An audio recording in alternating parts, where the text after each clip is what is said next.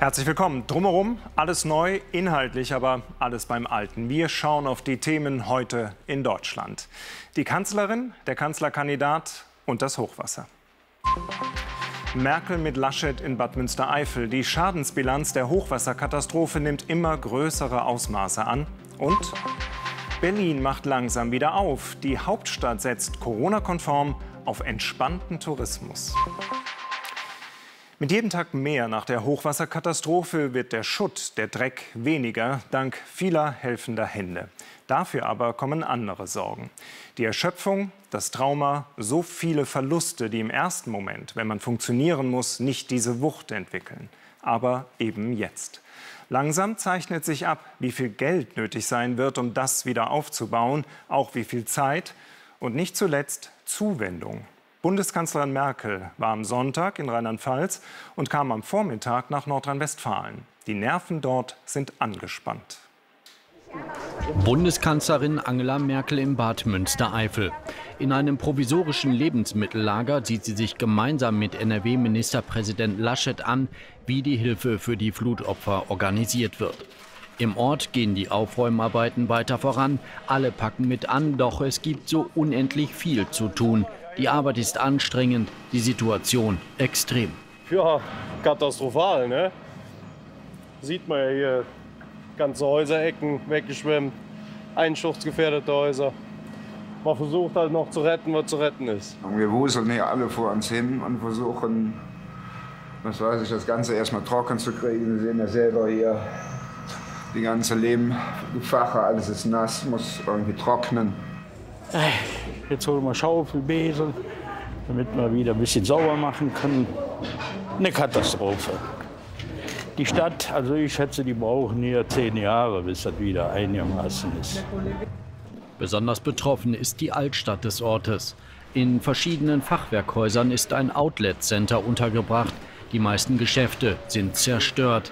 Die Akten der Sparkasse nur noch Müll. Gearbeitet wurde in Bad Münstereifel auch in der Nacht. Freiwillige Helfer aus Böblingen bei Stuttgart waren extra angereist, um aufzuräumen. Ein Bauunternehmer kam und brachte schweres Gerät mit. Das ist bei uns eigentlich der, also relativ großes Engagement, weil wenn, wenn man helfen kann, dann sollte man auch helfen.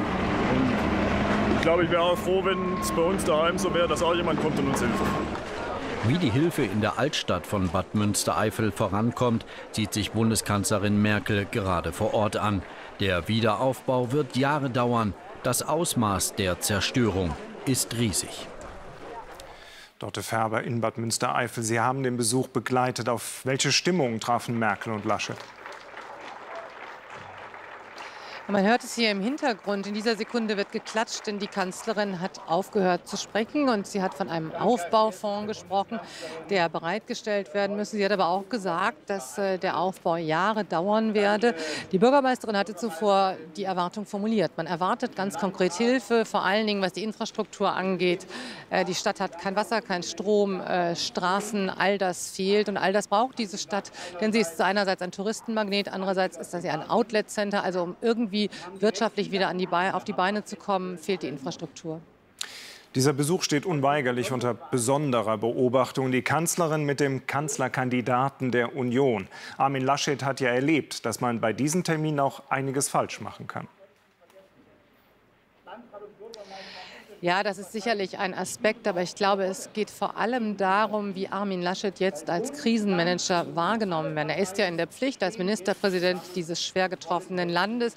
Und mir hat gerade ein Mann gesagt, naja, wenn die Kanzlerin kommt, ich glaube schon, dass die berührt ist, die würde ich gerne sprechen.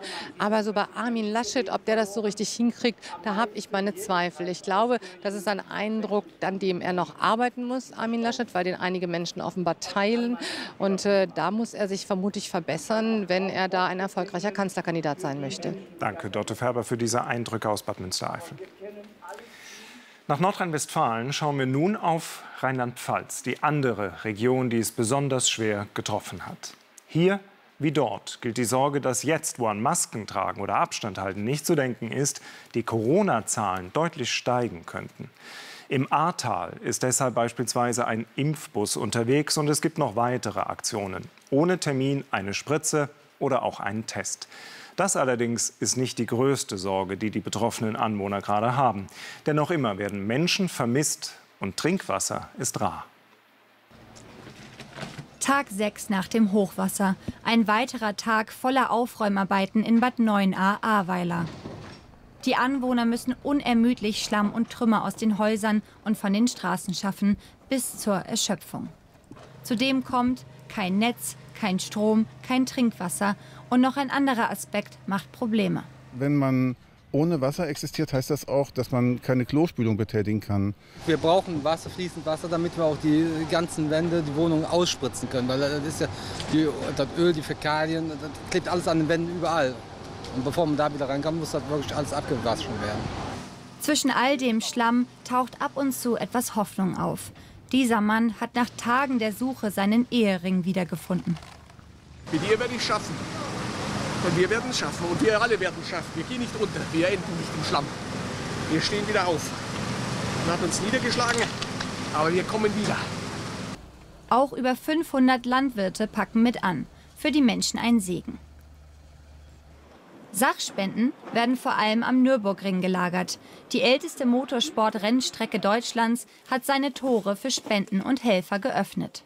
Wir haben erstmal diese Sammelstelle und waren dann selber überwältigt von dem Zuspruch und müssen, natürlich solche Dinge dann immer nachregulieren, auch in der Kommunikation haben dann irgendwann die Annahme gestoppt und sind jetzt im Austausch mit den Hilfsorganisationen, die natürlich viel mehr Erfahrung haben, wie dann diese Sachspenden verwertet werden. Von hier aus werden die Hilfsgüter an die Katastrophengebiete verteilt. Überall entlang der A ist die Infrastruktur völlig zerstört, so wie in Maischoss. Hier in der Kirche ist ein Hilfszentrum errichtet worden. Die Menschen kommen in der Krise auf engstem Raum zusammen. Deswegen impft man in Maischoss auch direkt gegen das Coronavirus. Das Landesgesundheitsministerium bereitet ebenfalls Sonderimpfaktionen in den Katastrophengebieten vor.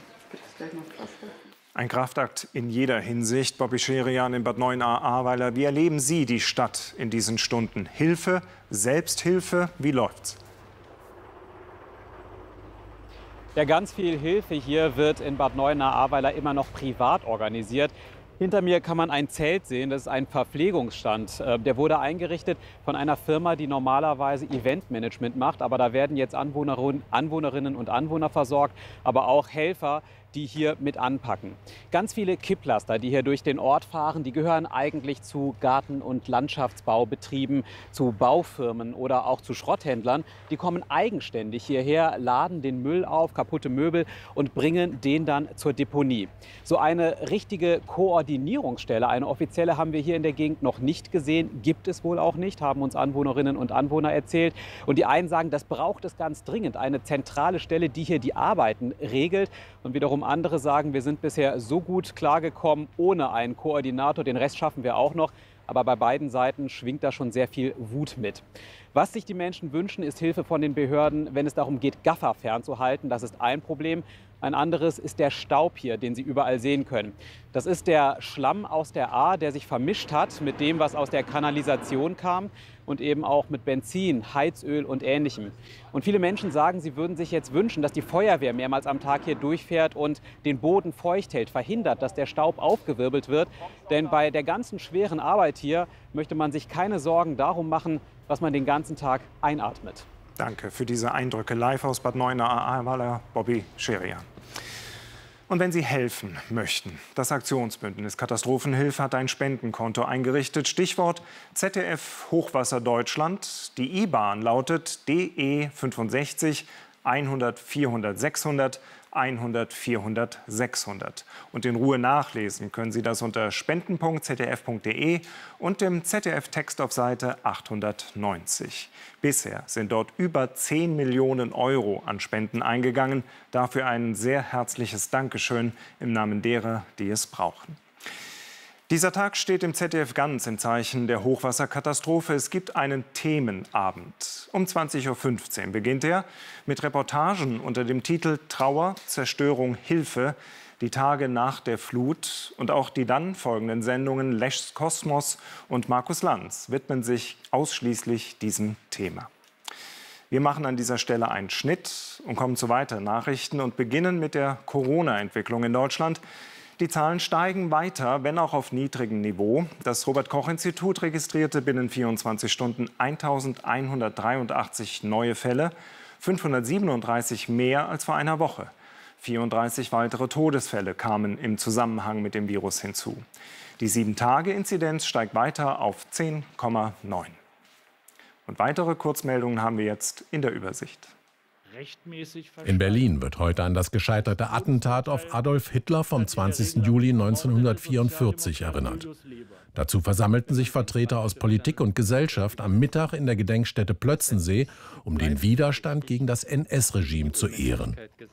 Wehrmachtsoffiziere um Graf von Stauffenberg hatten heute vor 77 Jahren vergeblich versucht, Hitler mit einer Bombe zu töten.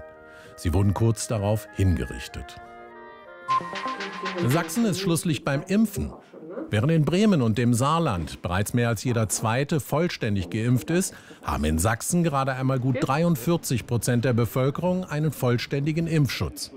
Bei einem Impfgipfel in Dresden hat deshalb Ministerpräsident Kretschmer heute mit Vertretern von Politik und Gesellschaft über eine gemeinsame Strategie beraten, mit dem Ziel, die Impfmotivation der Menschen in Sachsen zu steigern. Nach mehr als sieben Jahren Bauzeit öffnet das Berliner Humboldt-Forum heute seine Türen für Besucher.